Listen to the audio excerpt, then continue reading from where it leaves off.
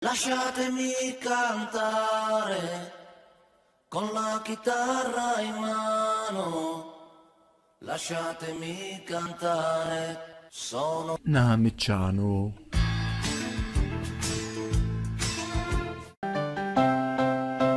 Benvenuti a tutti popolo namecciano, rieccoci qua in questa landa deserta chiamata Namek per un nuovo video. In questo video risponderò a una domanda che magari molti di voi si pongono, diciamo, ovvero quante uccisioni ha fatto Goku nel corso di tutta la serie di Dragon Ball, ovvero Dragon Ball, Dragon Ball Z, Dragon Ball GT, Dragon Ball Super e anche i film. Infatti in questo video introdurrò non solo le uccisioni canoniche di Goku, ma anche quelle non canoniche. E prima di scrivere nei commenti cose del tipo ti sei dimenticato questo, ti sei dimenticato quest'altro, vi ricordo che in moltissimi casi Goku tramortisce i suoi nemici o li lascia in fin di vita ma non li uccide, li risparmia. Questo ad esempio è il caso della squadra Ginyu che appunto Goku sconfigge quasi interamente da solo, però poi è Vegeta ad uccidere tutti i suoi membri, ovvero a terminare la loro esistenza con una mossa finale. E in questo video metterò anche le uccisioni che Goku ha fatto in cooperative, ovvero anche nemici che vengono ad esempio uccisi da tre personaggi insieme comprendenti Goku. Tra l'altro se questo tipo di video vi possono piacere mi raccomando lasciate tanti like e farò altri video simili con tutte le uccisioni ad esempio di Vegeta, di Freezer, insomma di tutti i personaggi principali. Ma ho parlato sin troppo e direi di iniziare con il primo Dragon Ball.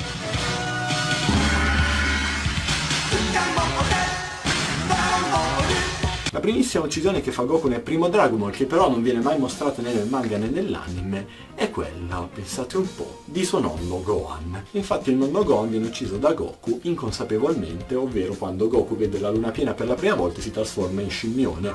Gohan nel tentativo di fermarlo ci lascia le penne. E anche se abbastanza stupido ha voluto introdurre l'uccisione del pesce che all'inizio di Dragon Ball Goku caccia nel fiume. Abbiamo poi l'uccisione dell'orso che voleva mangiarsi la tartaruga del maestro Mutemi che appunto viene fermato da Goku e lo pterodattilo che prova a rapire Bulman all'inizio del manga. Passando alla saga del Red Ribbon abbiamo un sacco di omicidi da parte di Goku, quindi scorrerò abbastanza velocemente, anche perché molti di voi non conosceranno alcuni dei personaggi che elencherò. E sì, c'è da dirlo, Goku nella prima serie ha fatto una fottuta strage. Iniziamo da Black, che appunto viene ucciso da Goku. No, no, non questo Black naturalmente, bensì questo sergente del Red Ribbon nero.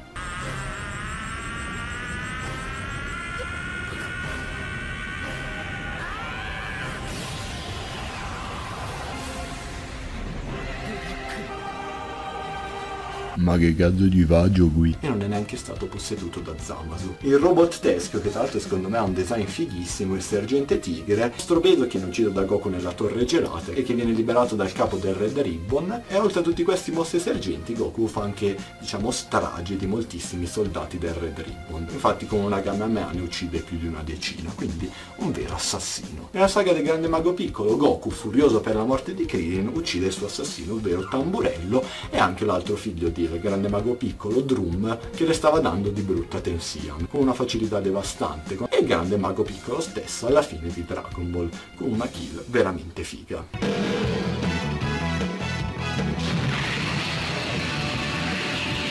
Ma passiamo a Dragon Ball Z.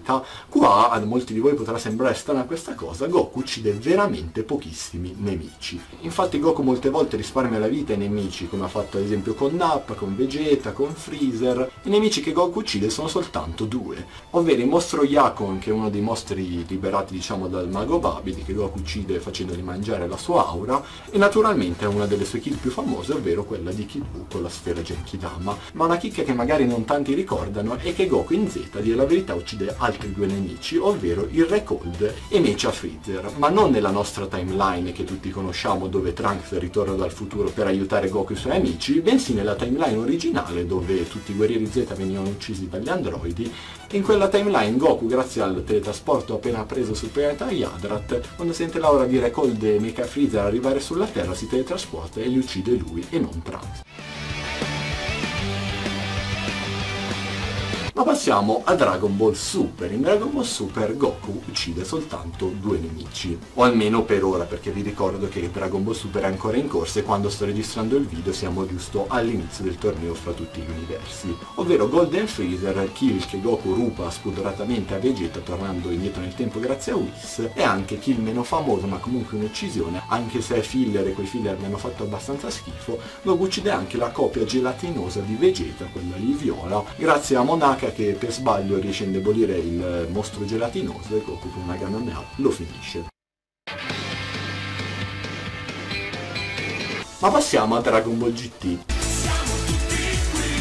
non c'è un drago più super di così. Qua Goku fa una vera e propria strage. Nella primissima saga del viaggio di Goku, Pan e Trunks in giro per l'universo, Goku ammazza un sacco di cattivi inutili. Alcuni di questi manco mi ricordavo. Leon, il mostro Lud che ammazza grazie anche all'aiuto di Pan, che ha tirato una gamma dal suo interno visto che era stata inghiottita, il comandante Nezi, Bizu Ribet e chi il più importante, il comandante Lild che Goku, Trunks e Pan ammazzano con una tripla Gamma Tra l'altro un personaggio niente male il comandante Lild, peccato che non gli venga dato troppo spazio. Poi Goku uccide anche nelle altre saghe i cattivi principali, nella saga di Baby uccide Baby con una Gamma per 10 e lo scaglia sul solo, un'uccisione bellissima, uccide Super G17 grazie all'aiuto di C18 con il pugno del drago. E tra l'altro vi ricordo per chi non lo sapesse che non è una mossa canonica, Goku usa il pugno del drago drago soltanto in Dragon Ball GT e nei film, quindi in teoria non potremmo mai vedere un pugno del drago in Dragon Ball Super, però dai dal momento che è stata ufficializzata la trasformazione in Super Saiyan leggendario ci si può aspettare di tutto e vedere Goku ammazzare qualcuno con quella mossa sarebbe fighissimo. E poi Goku uccide anche praticamente tutti i draghi malvagi dell'ombra, ovvero AIDS, Rage, Oceanus, Nauturon, Su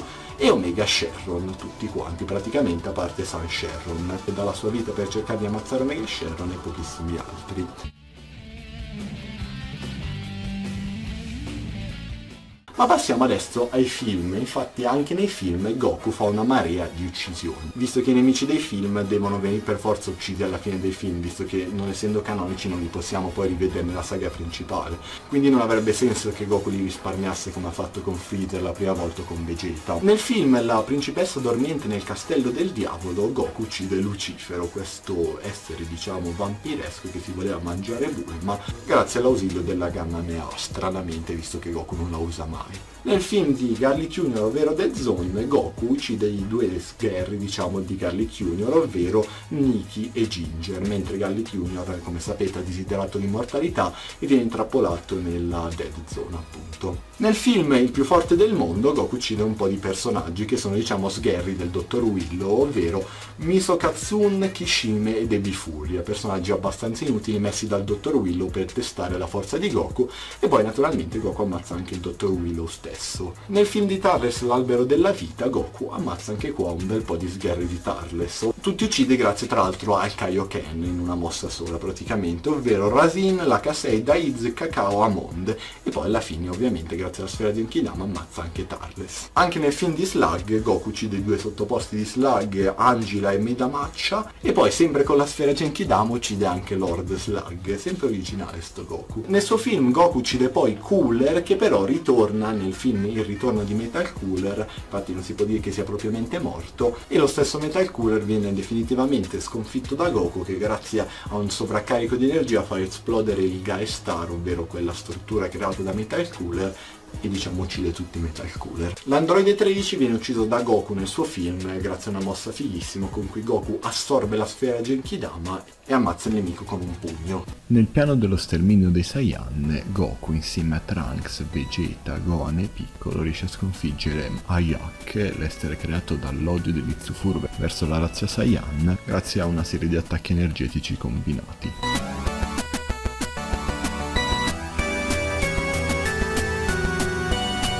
Nel mio film preferito, La rabbia del drago, Goku con un bellissimo pugno del drago in Super Saiyan 3 uccide Hildegard. Poi anche se l'ho già messo in Dragon Ball Super, mi sembra giusto ricordare che in teoria il film della resurrezione di F fa parte di Dragon Ball Z, quindi diciamo che Golden Freezer viene ucciso sia nella serie canonica di Dragon Ball Super sia nel film, però è la stessa uccisione, quindi vale come una sola.